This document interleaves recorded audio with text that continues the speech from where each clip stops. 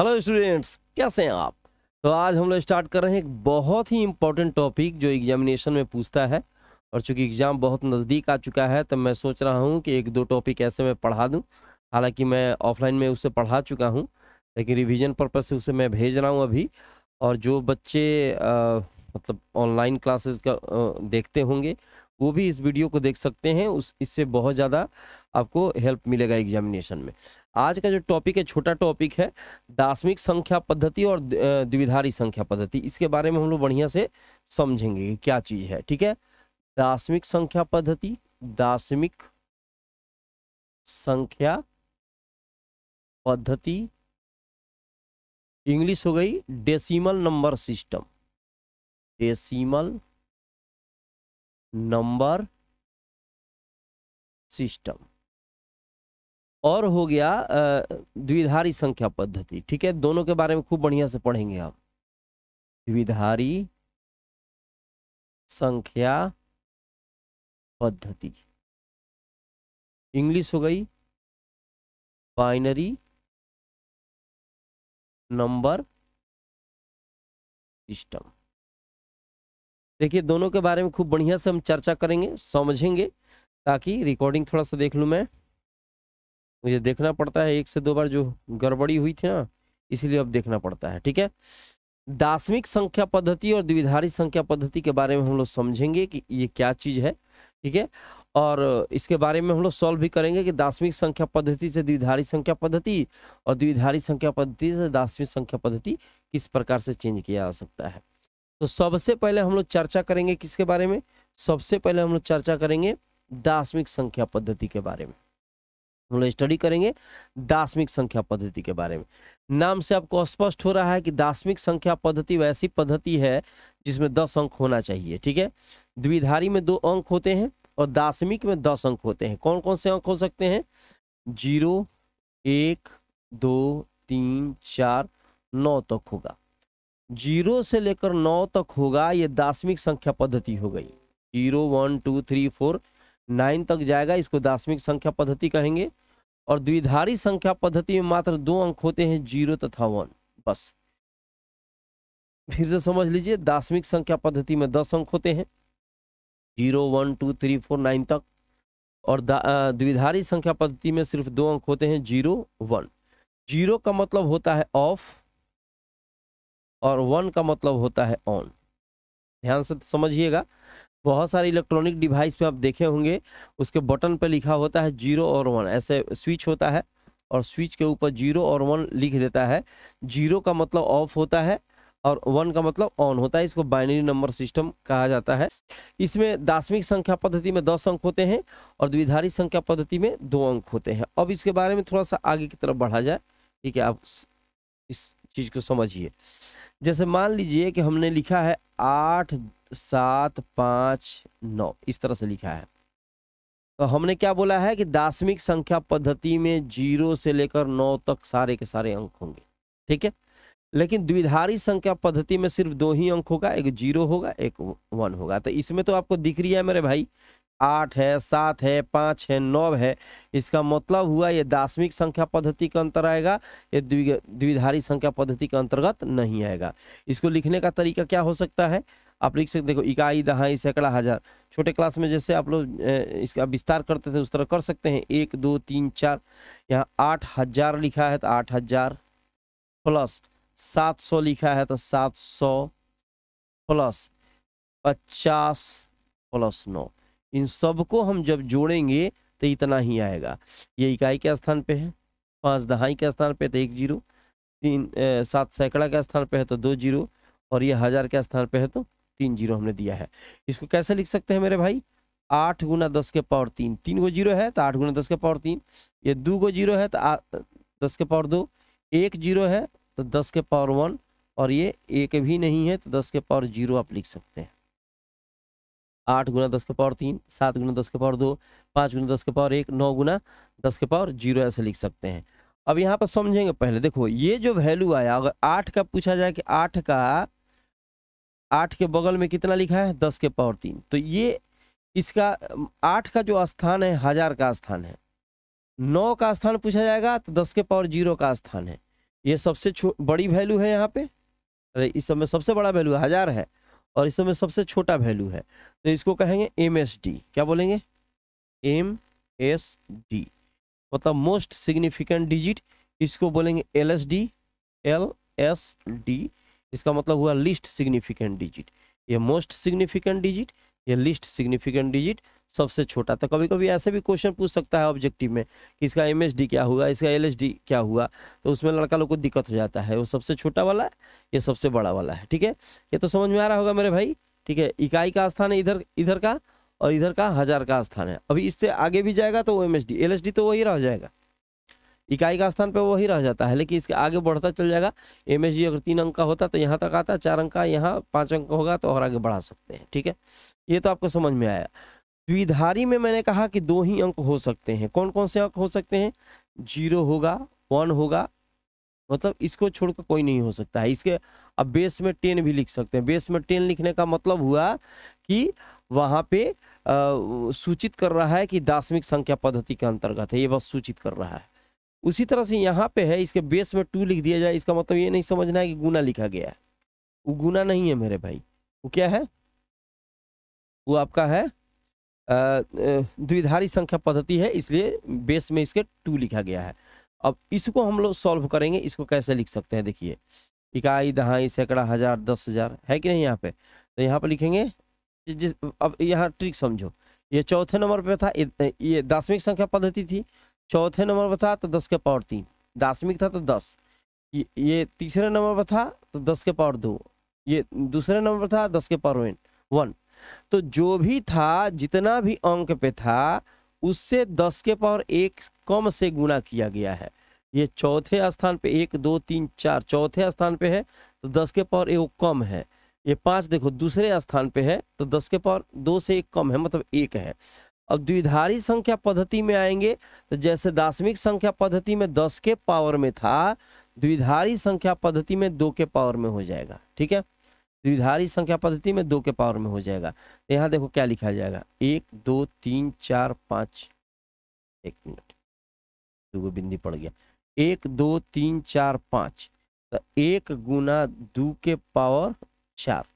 फिर से समझ लीजिए। एक, दो, तीन, चार, पाँच। पांचवा नंबर पे स्थान पे है, क्योंकि द्विधारी है तो दो के पावर में होगा। दासमिक होता तो दस के पावर में होता।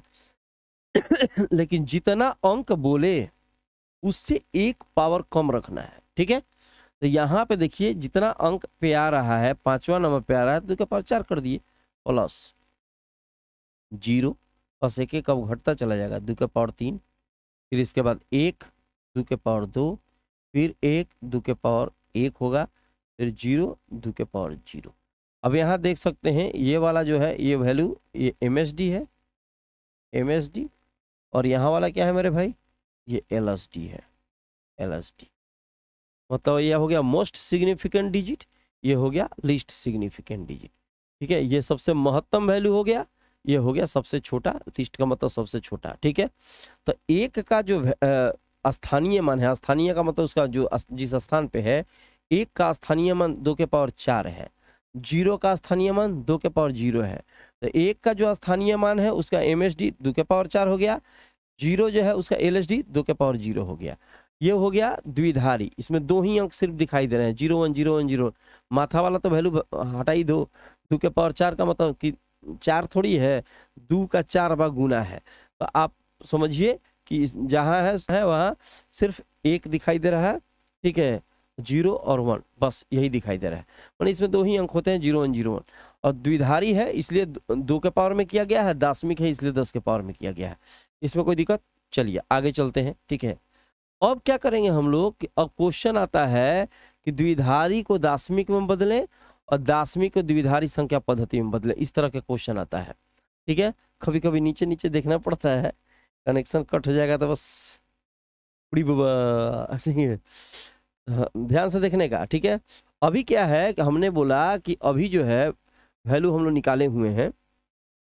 इसमें कभी कभी पूछता है कि दासमिक को द्विधारी में चेंज करो, द्विधारी को दासमिक में बदलो। तो सबसे पहले हम क्या करते हैं? दासमिक संख्या पद्धति को दासमिक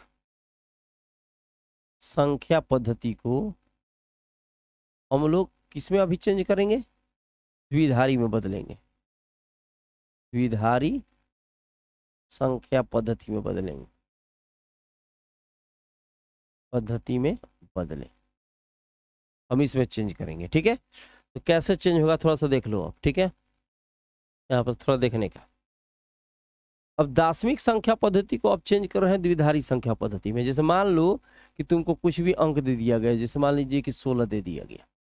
अब इसको द्विधारी में बदलना है तो द्विधारी में चेंज करना हो तो सिर्फ़ इसे दो से ही भाग देंगे। खाली दो से भाग देंगे आंसर अपने आप आ जाएगा। देख लो कैसे बनेगा। ठीक है, सोलह आ गया ना यहाँ पे डिवाइड करो। दो से, दो आठे सोलह। दो आठे सोलह यहाँ मन में सोलह लिख दिया और कट गया तो ज़ीरो। भाग कैसे देता है? देख लो, सोलह, दो से दो आठे सोलह, कट गया। तो यहाँ क्या बचा? ज़ीरो बचा नीचे नीचे ज़ीरो बचता है। ठीक है तो अब इसमें क्या है कि जितना बार में जा रहा है, इधर लिखते हैं हम लोग। और उसका शेष नीचे लिखाता है। अभी तो नहीं, उल्टा हो गया है, ठीक है? शेष इधर लिख रहे हैं, जितना बार में जा रहा है, यहाँ लिख रहे हैं। और जो गुना करने के बाद जो आता है नीचे सोलह, उसको हम नहीं लिख रहे हैं, ठीक है? बस इतने का चेंजिंग है। समझ रहा है मेरे भाई? ठीक है। फिर से देखो, दो आठे, सोलह यहाँ पे लिख दिया मन में, और कटा के इधर ज़ीरो। फिर दो से, दो ही से भाग देंगे, दूसरा चीज़ से नहीं। दो चौका, यहाँ आठ हो गया मन में, आठ से, में से आठ गया ज़ीरो। दो दो नहीं क्या? चार। चार में से चार गया? ज़ीरो। समझ लिया मेरे भाई? दो दो एकम दो। और दो में से दो गया ज़ीरो। अब क्वेश्चन आता है कब तक भाग देंगे? जब तक लास्ट में ज़ीरो तथा एक में से कोई एक ना बचे। इसका मतलब नी, नीचे या तो एक आ जाए तब तो छोड़ देंगे। चाहे ज़ीरो आ जाए तब तो छोड़ देंगे। तो यहाँ पे एक आ चुका है अब इसको हमने छोड़ दिया। मैंने सोलह जो था ये दासमिक में था। बेस में टेन लिखा है गुना में टेन नहीं लिखा है। सोलह जो था, वो दासमिक संख्या पद्धति में था। इसको अब कैसे लिखेंगे? ऐसे नहीं लिखेंगे अब उल्टा भागेंगे, ऐसे चलेंगे। ठीक है? एक एक, दो, तीन, चार। एक, दो, तीन, चार। अब इसके बेस में टू कर दो। इसका मतलब हुआ कि दार्शनिक संख्या पद्धति को द्विधारी संख्या पद्धति में हमने बदल दिया था। कभी कभी ऑब्जेक्टिव में निकालने के लिए अगर आ गया था, निकालना पड़ेगा दो नंबर में। लेकिन अगर पूछ दिया ऑप्शन में कि सोलह इस तरह करके दे देगा, सोलह बेस में टेन आ लिख देगा, निम्नलिखित में किसके बराबर है? ठीक है, कौन? चार गो ऑप्शन दे देगा। तो चार गो ऑप्शन देगा तो उसमें एक, किसी एक ऑप्शन का चुनाव करना पड़ेगा, ठीक है, जो कि ये सही होगा, ठीक है? अब इसको आप चेंज भी कर सकते हैं। मैंने द्विधारी से दासमिक में यहीं पर बदल के दिखा देते हैं। द्विधारी से, अब आप चाहें तो दासमिक में भी बदल सकते हैं। दासमिक में। कैसे चेंज करेंगे? अगर इस तरह इतना दे देता, अब बोलता कि ये किसके बराबर है? चार गो ऑप्शन देता, सोलह, सत्रह, अठारह, बीस। तो आप सोलह अभी देख रहे हो। लेकिन अगर मान लो कि नहीं सीखिएगा तो पता कैसे चलेगा कि सोलह कैसे निकलेगा? तो इसमें सबसे पहले, जैसे लिखा है वैसे लिख दो। एक दो, चार गो है, बेस में टेन। चलो, अब यहाँ देखो, एक, दो, तीन, चार, पाँच, बता चुके हैं। एक, दो, तीन, चार, पाँच। तो एक गुना दो के पावर चार, चूँकि द्विधारी है तो दो के पावर में होगा। दासमिक होता तो दस के पावर में होता। तो यहाँ एक, दो, तीन, चार को पांचवा नंबर पे है तो दो के पावर चार। उसके बाद क्या है? ज़ीरो है, दो के पावर तीन, फिर ज़ीरो है, दो के पावर दो, फिर ज़ीरो है, दो के पावर एक, फिर ज़ीरो है, दो के पावर ज़ीरो। ठीक है? इतना आ गया। अब यहाँ पे देखो गुना करो इसका। तो दो दुनी के चार चार दुनिया आठ दुना सोलह सोलह आ गया यहाँ पे। बाकी सब तो ज़ीरो से जब किसी चीज़ में गुना करेगा तो कितना आएगा मेरे भाई? ज़ीरो। तो टोटल वैल्यू आ गया सोलह। इसका मतलब हुआ ये सोलह के बराबर है। ठीक है? समझ में आ गया हो गया इतना? दूसरा एग्ज़ाम्पल भी ले लेते हैं, चलो आगे। इसको तो क्या करना ना अभी? ठीक है कि स्क्रीन ले लेना और लिखना होगा तो लिख लेना, कोई टेंशन की बात नहीं। चलिए, आगे थोड़ा सा देख लेते हैं। जैसे मान लो कोई अदर एग्ज़ाम्पल ले लो, चलो पच्चीस पच्चीस। अब पच्चीस को चेंज करो। दो से डिवाइड करो। कितना बार में जाएगा? ठीक है, बारह बार में। तो यहाँ चौबीस होगा तो यहाँ एक बचेगा। अरे बारह बार में जाएगा ना यहाँ चौबीस होगा तो एक बचेगा, घटेगा तो दो। दो छके, यहाँ बारह, कट गया ज़ीरो। फिर दो से द्वितीय यहाँ छः होगा छः में से छः गया, ज़ीरो। फिर दो से एक बार में, यहाँ दो बचा दो बचेगा तो तीन में से दो गया, एक। समझ रहा है मेरे भाई? यहाँ देखो, बारह बार में गया तो चौबीस। पच्चीस में से चौबीस गया, एक। ठीक है, फिर यहाँ बारह आया था, दो छके बारह। यहाँ बारह बारह में से बारह गया, ज़ीरो। फिर दो से डिवाइड किया, द्वितीय छः छः में से गया, ज़ीरो। फिर दो से डिवाइड किया, दो एकम दो, और तीन में से दो गया, एक। कोई दिक्कत? इसका मतलब हुआ कि पच्चीस को आप लिख सकते हैं, श्रीमान। फिर नीचे से ऐसे चलना है, ऐसे। ऐसे नहीं चलना है, ऐसे। One one, zero zero, one. One one, zero zero, one. और यहाँ हो गया, टू। बेस में क्या हो गया मेरे भाई? टू। इसका मतलब हुआ कि पच्चीस के बेस में जो टेन लिखा है, इसको आप इस तरीके से इस फॉर्म में लिख सकते हैं, कोई दिक्कत की बात नहीं है। अब जाँच की बात आ जाए कह दे कि जाँच करो। अगर बोल दे कि जाँच करो तो क्या करेगा मेरे भाई? जाँच करने की बात आएगी तो? तो जाँच कैसे करेंगे? ये थोड़ा सा कलर दिखाई नहीं दे रहा ये कलर दिखेगा, देखो तो। हाँ थोड़ा बहुत दिख रहा है, चलो। जाँच करेंगे, इसको उलट देंगे। तो उलट देंगे तो कैसे होगा? One one, zero zero, one, two. अब इसको उल्टेंगे। तो सबसे पहले क्या ध्यान देंगे? एक, दो, तीन, चार, पाँच। ठीक है? तो एक जो है, पाँच के स्थान पे है तो दो के पावर चार। फिर एक है तो दो के पावर तीन। अब घटते जाएगा, दो के पावर घटता जाएगा। एक है तो दो के पावर चार। क्यों चार हुआ? पांचवा नंबर स्थान पे था। ये चौथा नंबर स्थान पे है तो दो के पावर तीन। ये तीसरा नंबर स्थान पे है, दो के पावर दो। ये फिर दूसरा नंबर स्थान, दो के पावर एक, और फिर पहला नंबर स्थान पे है तो दो के पावर ज़ीरो। बस, खाली समझो कि एक पावर क्या हो जाएगा मेरे भाई? एक पावर घटा देना है, काम खत्म हो जाएगा। हल सॉल्व करो इसको, हल करो। ये कितना हो जाएगा? सोलह। दो के पावर तीन है, आठ हो जाएगा। इस चीज़ में ज़ीरो से गुना करते हैं, ज़ीरो। ज़ीरो से गुना करेंगे, ज़ीरो। ये देखो, वन। अब इसको ज़ीरो मत कर देना दो का पावर ज़ीरो है किस चीज़ का पावर ज़ीरो होता है तो वैल्यू एक एक में से एक गया, एक में से एक का गुना होगा तो एक आएगा। ये कितना हुआ? चौबीस एक हो गया पच्चीस। पच्चीस के बेस में कितना? टेन। इसका मतलब हुआ कि हमारा बनाया गया चीज़ वो भी सही था, ठीक है? जाँच करने पर उतना ही है जाँच का मतलब हो गया कि द्विधारी सब कोचिंग में बदल रहे हैं? दासमिक में। और यहाँ कैसे बदल रहे हैं? दासमिक से द्विधारी में। मुझे लग रहा है ये सब क्लियर हो चुका होगा, ठीक है? तो जल्दी से इसका स्क्रीनशॉट ले लीजिएगा। और इसके बाद एक और वीडियो हम भेजने वाले हैं तुरंत, ठीक है? तब तक जहाँ रहिए, स्वस्थ रहिए।